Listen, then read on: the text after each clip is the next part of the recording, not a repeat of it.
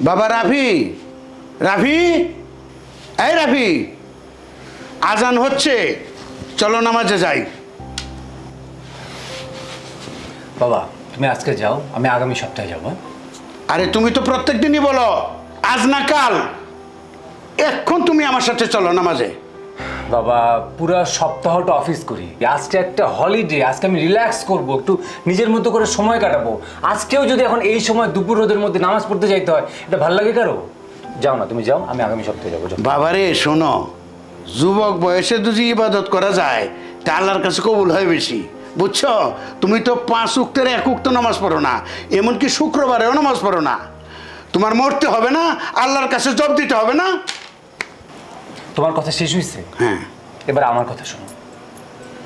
বাবা আমার বয়স এখনও চল্লিশ হয়নি। আমার দাড়ি গোফ এখনও পাকে নাই। আমি এতটা আনস্মার্ট না যে চল্লিশের আগেই মসজিদে নামাজ পড়তে যাব। আমি এখনই আমার নামাজ পড়িল মানে একদম কালো করে ফেলব। আমি এখন এটা করব না। আমার বয়স চল্লিশ হোক যথেষ্ট সময় আছে আমি নামাজে যাব। তুমি একা একা যাও আমি না না না তোমাকে যেতেই হবে। আমি আজকে নামাজে যাব না বাবা। প্যান প্যান করো না আমি এখন রিল্যাক্সে থাকব আমার মতো করে থাকব। যাও। থাকব না যাও।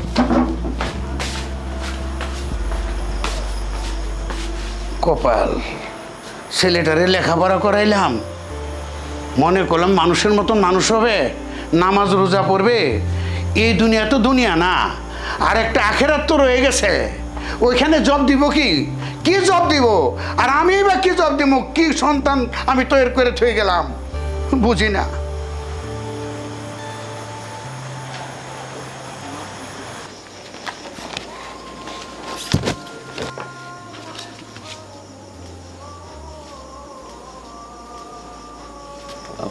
রাকি ভাই মনে হচ্ছে নামাজের সময় হয়ে গেছে। চলুন আমরা নামাজ পড়ে আসি। থ্যাংক ইউ আপনি আজকে যান আমি পরে যাব হ্যাঁ? রাফি ভাই যদি কিছু না মনে করেন একটা কথা বলতে পারি? শিওর বলুন না। আমরা তো গত দুই বছর যাবৎ একসাথেই কাজ করে যাচ্ছি। কিন্তু আপনাকে কখনোই আমাদের সাথে একক তো নামাজ পড়তে দেখিনি। কেন জানতে পারি? আপনি নামাজের দাওয়াত দিয়েছেন এই জন্য আপনাকে থ্যাংক ইউ কিন্তু আরেকজনের পার্সোনাল ব্যাপারে ইন্টারফেয়ার করা, এটা খুবই ব্যাড হ্যাবিট প্লিজ আপনি আপনার কাজে যান, আমি আমার কাজ করি হ্যাঁ? রাফি ভাই হয়তো রাগ করছেন, কিন্তু আমরা মুসলমান মুসলমান ভাই ভাই তো, তাই একজনকে আরেকজনের নামাজের দাওয়াত দেওয়া আমার দায়িত্ব, ঠিক আছে? ঠিক আছে রাফি ভাই, আমি আসছি।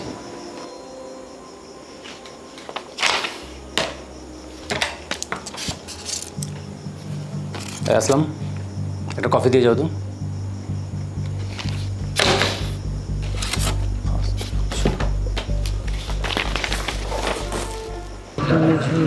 আচ্ছা বন্ধু তোর অফিসে আমার একটা চাকরির ব্যবস্থা করে দেবে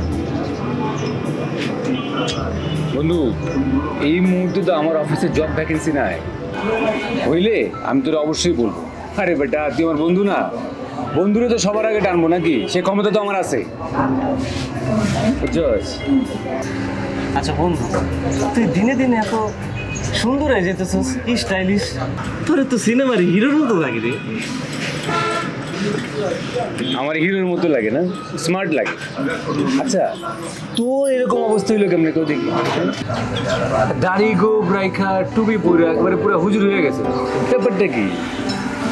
দেখ বন্ধু আমি আল্লাহর প্রতি ফিরে আসছি আমি পাঁচ ওয়াক্ত নামাজ শুরু করছি। আল্লাহ আমার হেদায়ত দিছে এই জন্য আমি দাঁড়িয়ে রাখছি। ও আচ্ছা এটা দিছে। হ্যাঁ খুব ভালো হয়েছে এখনও তো বিয়ে শাদি করস না তাই না? এরকম দাড়ি গোপ দেখলে টুপি দেখলে কোনো স্মার্ট মাইয়া সুন্দরী মাইয়া তোলে বিয়ে করব? হ্যাঁ? আরে বেটা এইসব করবি তো চল্লিশের পরে। এখন তো চিল করার বয়স। আমারে দেখোস না? তখন চিল করে বেড়াই। আচ্ছা বন্ধু আজান দিতেছে। তোর তুই থাক আমি উঠি নামাজ পড়তে হবে। তুই থাক। ঠিক আছে যা নামাজ পড়। নামাজ দল সব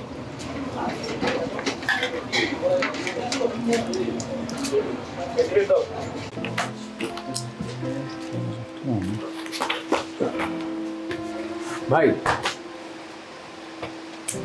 আচ্ছা আপনি কি সেদিনের কথায় আমার উপর মাইন্ড করেছেন? না মাইন্ড করব কেন? তেমন কিছু তো বলেনি মাইন্ড করব আসলে সেটাই হয়েছে কি ভাই? বয়সটা তো কম। আমি অবশ্যই নামাজ পড়ব।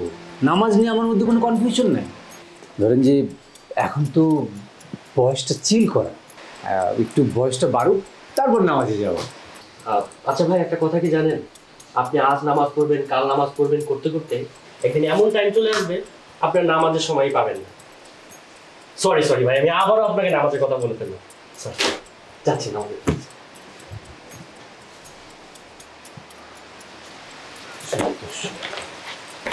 নামাজ নামাজ পাগল করে ফেলছে মানে বেশ তো পেয়ে গেছে এখন।